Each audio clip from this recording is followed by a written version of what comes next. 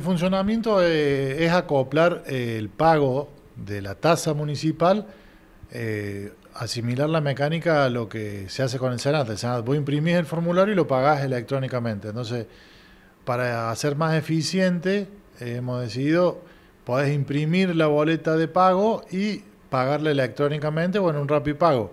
Eso van a venir con los dos formularios y los dos pagos a realizar el carnet, con lo cual la gente en una sola acción va a poder eh, pagar todo lo que tiene que pagar para obtener el carnet. Esto me imagino que es para facilitar un poco el trámite y, bueno, también preguntarte cómo puede hacer la gente para acceder. A través de la página del municipio entran en la licencia de conducir y ahí hay un botón de pago donde va, está bastante claro.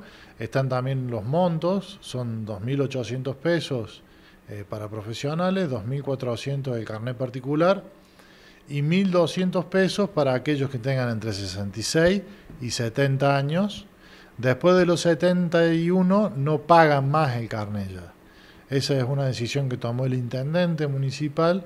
Como todos los años tienen que renovarlos ellos, eh, es una forma de demostrar, primero, que la intención es solamente ayudar en lo que se puede a la seguridad, verificando las condiciones de salud y de conocimiento de las personas mayores de 70, como nos exige la ley, y como tienen que traer los estudios médicos, no cobrarle el carnet porque es una forma de ayudar a la economía de cada uno de esos adultos mayores.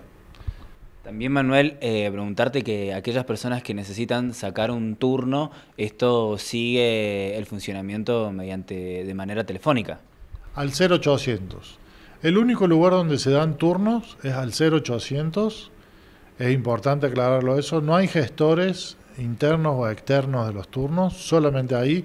Las chicas del 0800 funcionan muy bien, son muy amables en la atención y eh, el único lugar donde se emiten licencias es en el centro de emisión de licencias que está acá en la Bayofet. No hay gestores externos, no hay formas más fáciles de sacar la licencia ni eh, por tercero. Es todo acá, o turno en el 0800 y trámite en el Centro de Emisión de Licencia de Conducir.